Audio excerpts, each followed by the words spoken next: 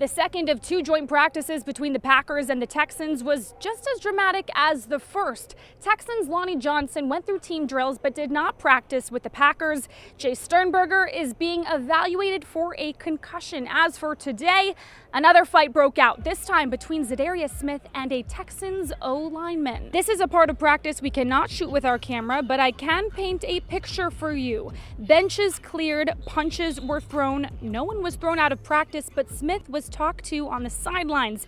As for Coach Matt LaFleur, he said a joint practice is great as long as it stays clean. You know, as long as you can keep everybody's uh, temper in check and and uh, and not let it escalate to, to skirmishes, I think there's a lot of good work that can be had. I, I want I want our guys to go out and be physical, but as long as it's within the framework of the rules, I'm all for it. Play between the whistles between the snap and the whistle and let your play do the talking. That's that's the message to our guys. Smith did that to a T. The linebacker sacked Deshaun Watson, winning the two-minute drill. Some pretty good practice for Thursday's preseason game.